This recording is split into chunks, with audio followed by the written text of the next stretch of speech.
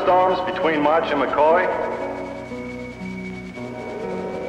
Are there clouds in the refueling area?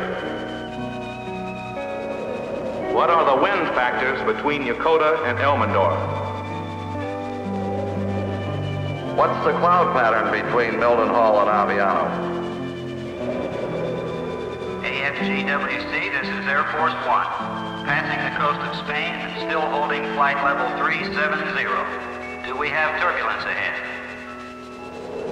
What are the winds up to 100,000 feet over Vandenberg day after tomorrow? The Army wants to know how much rain to expect within 50 miles of Ramstein in the next three days. How cold will it be at Fort Greely tomorrow morning? When can we expect clearing at Fort Ord?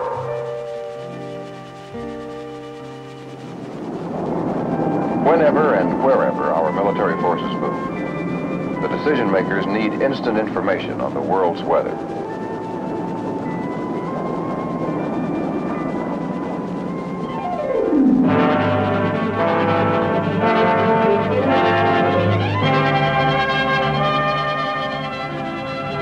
The Air Force Global Weather Central at Offutt Air Force Base is commanded and staffed by an outstanding team of Air Force weathermen a team that includes some of the leading forecasters of the nation.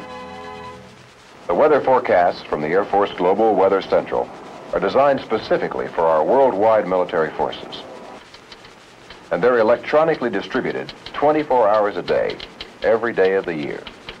The Air Force Global Weather Central is a computer-based operation.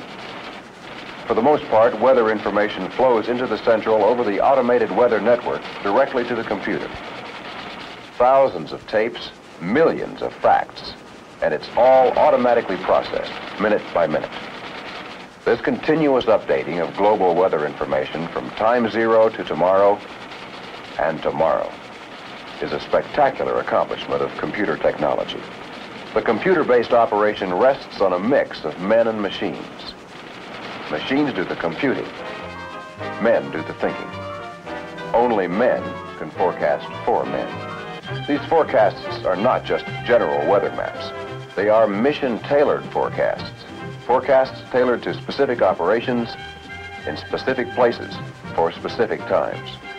The tailored forecasts are then distributed to decision makers, command posts, Air Force bases, flight crews, Army installations, and Army units, wherever they may be. First, the collection and processing of weather information. And second, distribution of the tailored forecasts is the dual mission of the Air Force Global Weather Central. Validity of all forecasts depends first on the sources of information. Ground observers, civilian and military, supply the great mass of weather data. That's common knowledge, but it is not generally realized how extensive this network is. Ground-based weather observations come in continuously from ships at sea and from nearly every country in the world. On these maps, every red dot is a weather observation site.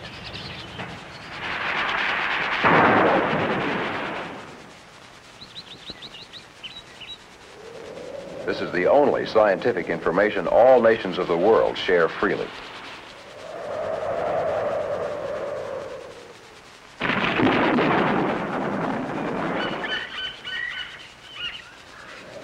Weather information is even transmitted through curtains of bamboo and iron. Reports from radiosonde balloons come in at up to 1,600 reports a day. And thousands of weather reports a day come in from civilian and military aircraft.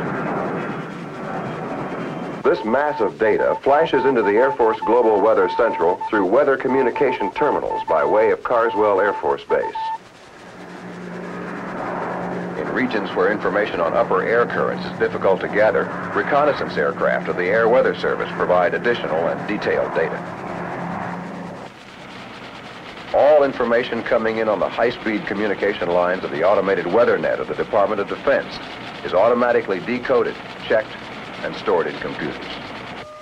Information from meteorological satellites in polar orbit of about 850 miles up comes directly to the Central. When analog signals from those satellites have been transferred into digital form, the satellite weather pictures supplement the conventional data in the computers. In addition to digital data for computer analysis and forecast, cloud pictures are produced for immediate use by forecasters. Produced in any desired scale, in Mercator or polar stereographic projections. An increasing amount of space environmental data are also being added to the database. These can have a direct bearing on communications, satellite systems, and experimental projects. The validity of weather forecasts does not, of course, depend solely on the collection of data. It also depends on the processing of that data. But how can the millions of facts be correlated minute by minute, hour by hour? The computers analyze and forecast winds, temperature, humidity, and pressures in 15 different levels from the surface up to 100,000 feet around the Earth. In turn, these data are used to analyze and forecast the weather as it affects men and military operations. A three-dimensional analysis and forecast of cloud patterns is only one example of how this works. This forecast begins with what meteorologists call existing conditions. Existing conditions are constantly updated by all available information as it is received. A ground observer reports a low cloud base from his particular site. Another observer reports scattered middle clouds. Instantly, the cloud data are adjusted by the computer to reflect this information.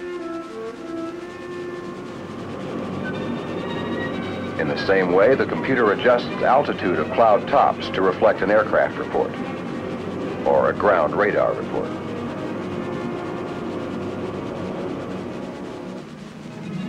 Information from a weather satellite again updates the cloud analysis. And finally, within a few minutes, this provides a detailed cloud analysis in the database that becomes a starting point for cloud forecasts. The cloud forecast is further modified in the database by information on temperature, vertical motion, and humidity. Transient cloud systems are formed, dissolved, and moved by forecast winds, moisture, and vertical motion information in the computers. The movements of local cloud patterns are forecast by information already in the database on surface winds, heating, and terrain. The computers at the Air Force Global Weather Central can forecast patterns of high clouds, middle clouds, low clouds, all clouds, for today, for tomorrow, and for any place. What do you want to know about cloud configurations in your area of operations? The computers can deliver it in a minute or two. Of course, this cloud forecast is only one of the many kinds of information in the database. The memory drums of the computers hold detailed information on every aspect of sensible weather that decision makers may want to know about. Rain, hail, icing conditions, temperatures, or wind direction and velocity at any level, anywhere.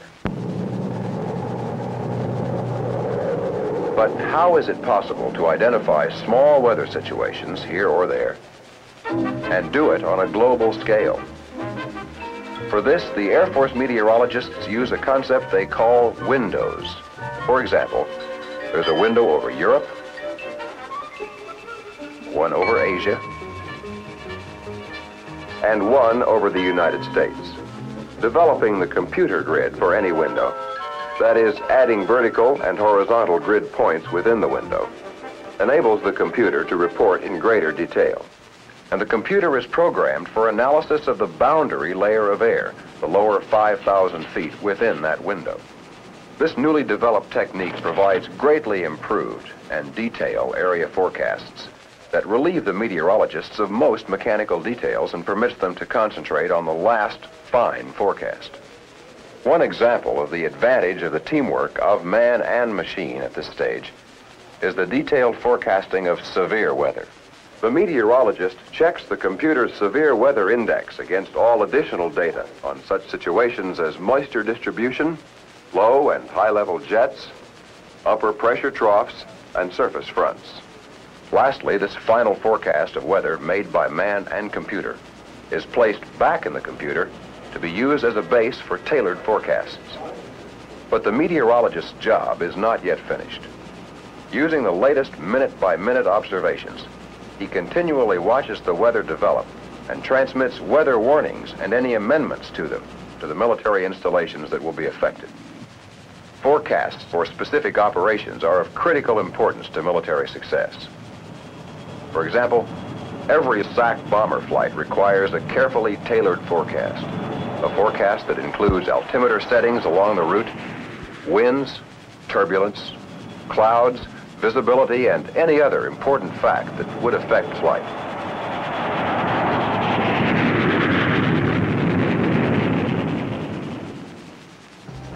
Every airlift mission, every flight path flown in the Military Airlift Command is flown along a computer flight plan produced by the Weather Central. Plans that include flight profile and altitudes, wind direction and speeds, true airspeed, ground speed, time en route, distance from takeoff and distance to touchdown, true course, magnetic course, magnetic heading, and any other factor required for flight scheduling.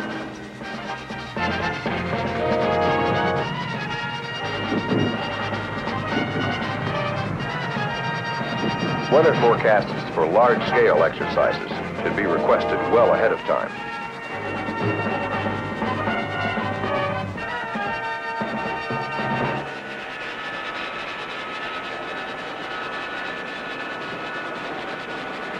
But for standard operations in any Air Force command, ask today for the tailored forecast you need tomorrow and state when you need it.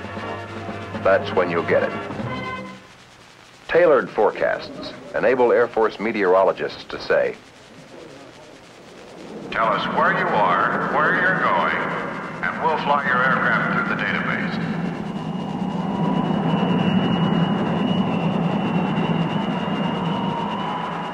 or they can say to the Army, Tell us where and when you're going to march, when you're going to fight, and we'll lead you through the sensible weather database. As a decision maker, you may well ask, how do I get this information when I need it? The answer is, of course, through your staff meteorologist or weather officer. Give him all the factors of time, space, and mission. He has the key to the weather information you need, and he has the authority to call on the Air Force Global Weather Central. Use him. Hundreds of our military missions a day are operating with weather information tailored to each mission.